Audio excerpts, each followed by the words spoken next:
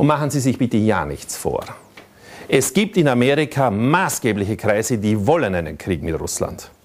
Sie wollen ihn jetzt und sie wollen ihn nicht erst in 15 Jahren, wenn Russland weiter erstarkt. Russland ist ihnen schon viel zu sehr erstarkt und viel zu sehr stabil geworden. Sie wollen diesen Krieg jetzt. Und sie wollen ihn bald. Und wenn Sie, ich weiß nicht, ob Sie das gestern gesehen haben, es sind jetzt auf YouTube auch äh, von unseren Freunden ähm, äh, äh, Videos ins Netz gestellt worden, äh, wo Truppentransporte über österreichisches Territorium gehen. Hunderte Panzer laufen derzeit über die Schienen Österreichs in den Osten. Hunderte Panzer. Deswegen ist auf einmal der Orban nicht mehr böse. Orban geht jetzt auf einmal als guter, obwohl er jetzt sozusagen, äh, äh, das Wahlergebnis hat, unterscheidet sich ja nicht von dem letzten Wahlergebnis, das das letzte Mal. Da war er noch böser, ja, weil da hat er die Roten gestürzt. Jetzt auf einmal ist er ein guter, warum? Weil er bei den Truppentransporten mitspielt. Jetzt braucht man ihn wieder.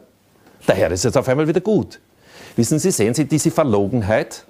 Also nicht die, ob der einer wirklich gut oder schlecht ist, bestimmt die, die Position, sondern immer, ob er gebraucht wird oder nicht gebraucht wird. Ob er irgendwo im Weg ist oder nicht im Weg ist, dann, das bestimmt dann immer, ob jemand gut oder schlecht ist. Ja? Das ist diese unglaubliche moralische Doppelbödigkeit und Doppelzüngigkeit, die typisch für die Amerikaner ist, aber mittlerweile auch typisch für die europäische Politik ist. Und daher äh, laufen derzeit also wirklich sehr, sehr große Truppentransporte, viel, viel größer in einem Ausmaß, als uns in den Medien zugestanden wird. In den Medien heißt es, es seien nur ein paar hundert Soldaten bei einer Übung, würden sie im Osten teilnehmen. Ja? Stimmt überhaupt nicht. Derzeit werden Raketen in Polen aufgestellt. Also dieser Raketenschild, der ursprünglich angeblich gegen den Iran gerichtet gewesen sei. Ja? Also man baut in Polen einen Raketenschild gegen den Iran. Das war ja die offizielle äh, äh Diktion. Es war natürlich klar, dass dieser Raketenschild gegen Russland gerichtet ist. Der wird jetzt forciert aufgestellt. Man verlegt Truppen, vor allem Luftlandetruppen, äh, in das Baltikum.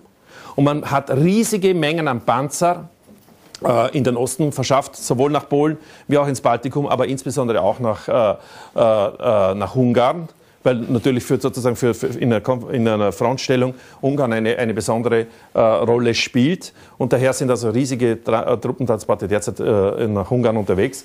Und ich habe mich bemüht, die Hoheitsabzeichen dieser Panzer zu sehen. Die sind verdeckt worden. Also man kann nicht zuordnen, welche Panzer. Es sind jedenfalls eindeutig Jagdpanzer. Also das ist also äh, eindeutig für den, für den äh, Kampf gedachte Panzer. Nicht für den Defensivkampf, sondern für den Angriffskampf. Und es sind äh, diese Panzer ohne Hochheitsabzeichen, jedenfalls sieht man es auf den, ist auf den Videos nicht erkennbar, äh, zu, welcher, äh, zu welchem Teil der NATO-Truppen sie gehören, äh, durch unser Land durchtransportiert. Und das alles durch ein neutrales Land. Wissen Sie, und das ist das, was ich unserer ganzen äh, Regierung, äh, dieser ganzen Versagerpartie dort oben vorwerfe.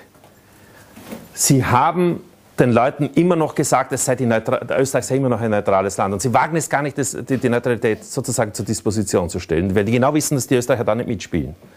Aber sie tun alles, was verlangt wird, und, und sei es noch so sehr gegen die Neutralität gerichtet. Sie heben sie de facto auf. Ja? Sanktionen, bei Sanktionen mitzumachen gegen ein Land, das mit uns überhaupt keinen Konflikt hat. Russland hat mit uns keinen Konflikt. Wieso sollen wir Sanktionen als neutraler Staat Sanktionen mittragen?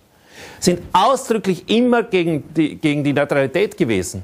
Wenn man die Neutralität nach Schweizer Vorbild definiert hat, und das hat man ja in Österreich getan, dann ist es unzulässig, Sanktionen gegen ein anderes Land zu verhängen. Sie machen mit. Keine Silbe des Widerstandes vom Herrn Feimann, vom, vom schon überhaupt nicht, aber auch vom Herrn Außenminister Kurz nicht. Ja? Keine Silbe. Auch aus dem Nationalrat nicht.